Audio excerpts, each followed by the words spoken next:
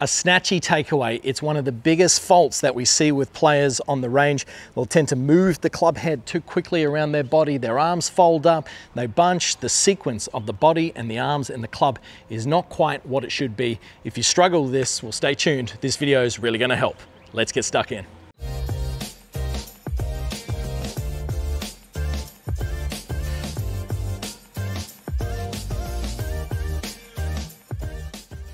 Welcome back to the channel guys, Kerrod Gray here on the range at Joondalup Resort and in today's video we're talking all about removing that quick snatchy takeaway that you see with far too many golfers out there. It causes a bunch of follow-on errors in the golf swing and it's certainly a part that we would like to eliminate if this is something that you struggle with. Before we get stuck in, please go down below, click subscribe, click that little bell so you get notified of all the videos coming your way.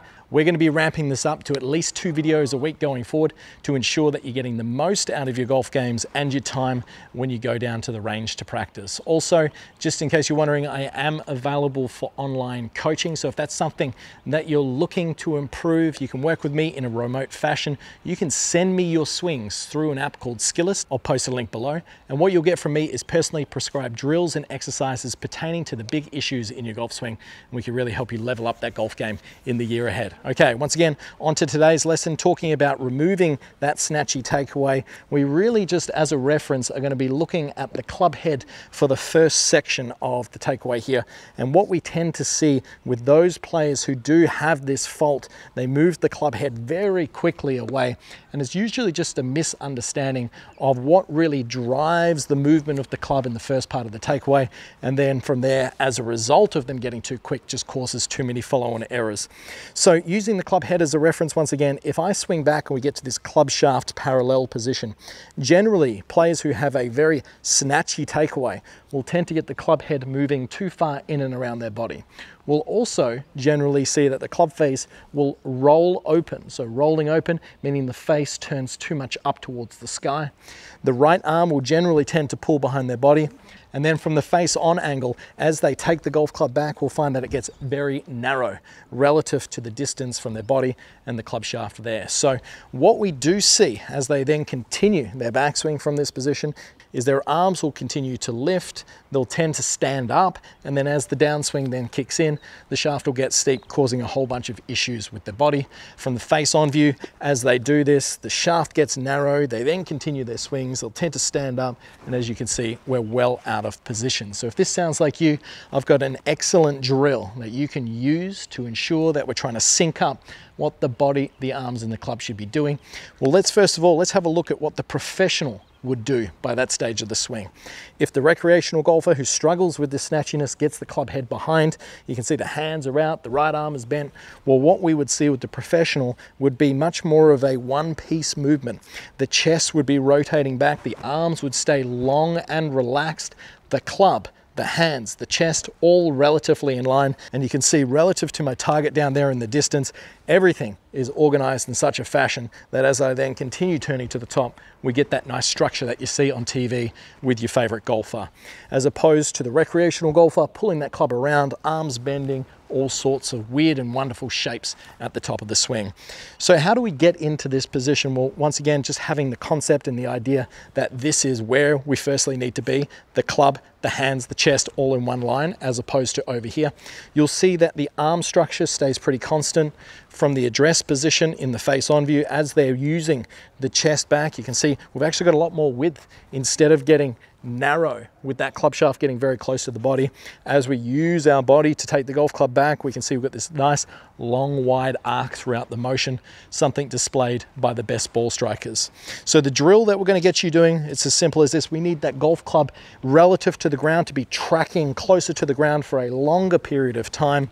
For the golfers that get snatchy, this golf club picks up quickly off the ground. So the golf club rises very quickly. We want it to stay low and longer for a period of time. So this is a wonderful exercise that you can do. You're just gonna place another golf ball behind the golf ball that you're gonna hit. And you're just gonna make some practice swings, feeling from this address position, nice relaxed arms, that you're going to drag that ball along the ground for as long as you can. And as I do so, you can see I get myself into this position. Once again, the club head the hands, the chest, all relatively in line. if I was the snatchy golfer. I put my club behind the ball. As soon as I pull that back, you can see well the club's gone in. I haven't dragged it for a long period of time. The club head hasn't gone wide enough away from me long enough to really put us in that good position. So we'll show you that from the face-on view here. We're just putting it a slight distance behind the golf ball, enough for our club to sit nicely in the gap there. I'm then setting up, and what we're feeling is that chest is driving the golf club away. We can see how nice and wide this arc is that I've drawn, as opposed to that snatchy golfer. They get this golf club moving back so quickly that the ball will shoot off. Once again, you can see too narrow in that position. So my recommendation is to simply just start off by doing a few slow practice swings, putting this into effect. You're going to set up, you're going to drag that golf club back. You can see a nice slow rolling of the golf ball.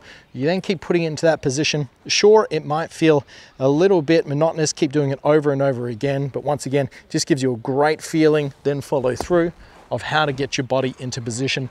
My recommendation is to start off with those half swings, just establish a feel, a concept, an understanding of what you need to do to get that ball rolling slowly back for as long as you can. You want to feel that that ball is in contact with the back of the club for the longest period of time. If it's shooting off, it simply means that that club head is working too far around the body. Once you've built up some confidence with that, put the ball directly behind one you're going to hit. And all you're going to do is you're going to recreate that same feeling. You're going to go slowly back. Let's see how we go. So you can see it was a slow rolling of that golf ball back. The club then came down, struck the ball first, the ground second. Place it on a short tee just as I have done there, mainly just so because you've got some consistency with that delivery. We're gonna do one more off the ground here, slowly.